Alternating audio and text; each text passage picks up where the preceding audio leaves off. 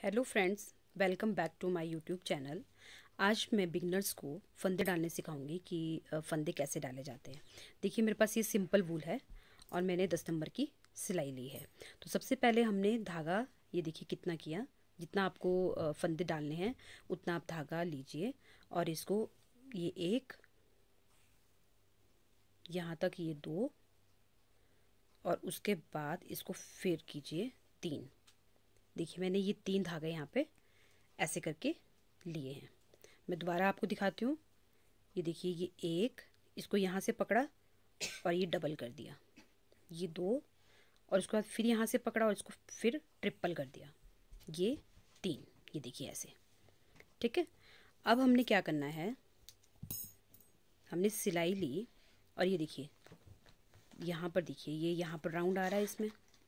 और इस धागे को इसके अंदर से ऐसे करके डाल दिया। ऐसे। ये देखिए, ये आ गया। अब हमने क्या करना है?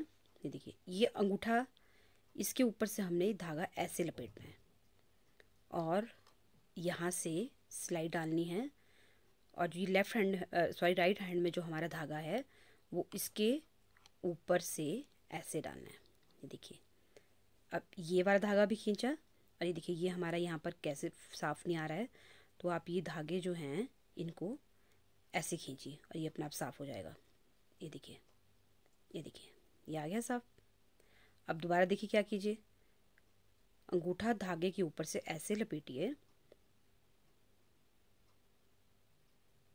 और ये देखिए, यहाँ पर ये हमने यहाँ ये ये ऐसे करके सिलाई डाली धागे के अंदर से, ये देखिए। और राइट हैंड को, राइट हैंड वाले धागे को हमने इसके ऊपर से डाला और ये जो लेफ़्ट वाले अंगूठे पे हमने एक नॉट लगाई थी, इसको ऐसे कर दिया। हमने ये भी थोड़ा खींच के रखना है धागा और जो हमारा लेफ़्ट में जो धागा है, ये भी हमने थोड़ा हल्का सा खींचना है। ज़्यादा भी मत खींचेगा, नहीं तो ये टाइट हो जाएँगे। ये हमारे ऐसे होने चाहिए, देखिए। ये हमने, ये देखिए, ये हिल रहे हैं आराम से। ये देखिए ऐसे।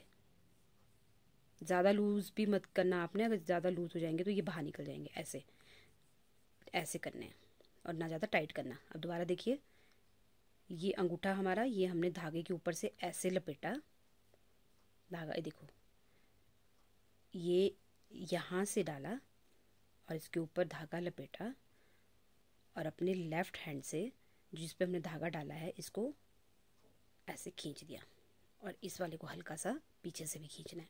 दोबारा देखिए। ये है, ये धागा देखो मैंने कैसे पकड़ा है। इसमें देखो मैंने कैसे पकड़ा है। ऐसे ऐसे, इसके ऊपर से, ये देखिए। धागे का हमारे ऊपर धागे का जो है पूरा, हमारे हाथ पर धागे का पूरा कंट्रोल होना चाहिए। ये देखिए ऐसे, और ये देखिए ये देखिए। ये हमने इसको ऐसे उंगली से डाला और इसको ऐसे पकड़ा है। ये हमारा अंगूठा है, इस अंगूठे को हम धागे के नीचे से ऐसे डालेंगे। देखिए। और फिर जो हमारी ये लेफ़्ट राइट वाला, राइट में जिसमें हमने सिलाई पकड़ी है, उसको अंगूठे के नीचे से धागे के पास ऐसे डालेंगे। और ये राइट हैंड का धागा हमने सिलाई पे डाला और लेफ़्ट हैंड का धागा हमने ऐसे डाला और ये टाइट कर दिया थोड़ा। ठीक है? ये देखिए दोबारा। ये देखिए ऐसे। ये देखिए। दोबारा। ऐसे ऐसे। ये देखिए, बहुत इजी है। प्रैक्टिस करेंगे आप, ज़रूर आएँगे ज़रूर आ जाएगा आपको। ये देखिए, ऐसे। ये डाला, इसके ऊपर से निकाल दिया, ऐसे। ये देखिए। आप ये दो तीन बार करिए, आपको ज़रूर आएगा। ये देखिए, आपको ज़रूर समझ आ जाएगा कि मैंने कैसे डाला है। ये देखिए, बहुत आसान है। कोई ज़्यादा मुश्किल नहीं है। ये देखिए। ये ऐसे, यहाँ से सिलाई डाली, धागा लपेटा और इसको ऐसे खींच दिया। ये देखिए, ऐसे। ये देखिए, ऐसे।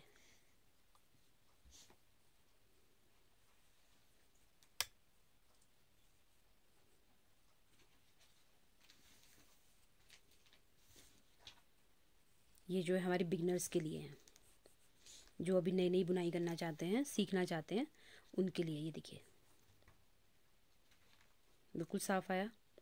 और रही इस वाले धागे की बात, जिससे हम जो है अपने फंदे डाल रहे हैं। ये आपके ऊपर डिपेंड है, आप इसको एक से भी एक धागे से भी डाल सकते हैं, दो से भी डाल सकते हैं और ऐसे करके तीन से भी डाल सकते हैं। दो जो एक धागे से होता है, ये बहुत पतला आता है। ये फंदे बहुत पतले आते हैं। दो से डालेंगे आप तो थोड़े मोटे आएँगे और तीन से डालेंगे तो आप बिल्कुल फिनिशिंग आएगी। ये बाकी ये आपके धागे पे डिपेंड होता है। अगर आपका धागा ना ज़्यादा पतला है ना ज़्यादा मोटा है तो आप इसको जो है वो तीन धागे करके ऐसे करके डाल सकते हैं। अगर आपका धागा जो है वो ज़्यादा मोटा है तो आप इसको दो आ, दो ही धागे करना आपने और फिर डालना। ठीक है? और अगर आपका धागा उससे भी ज़्यादा मोटा है तो आप एक ही धागे से बनाना। ये देखिए, ये हमारे फंदे हो गए। ये देखिए। आपको मेरी वीडियो कैसी लगी, आप मुझे ज़रूर बताना। आप मुझे सब्सक्राइब करना, लाइक करना, शेयर करना और कमेंट ज़रूर करना। मेरी वीडियो देखने के लिए आप सभी का बहुत बहुत धन्यवाद। Thank you so much.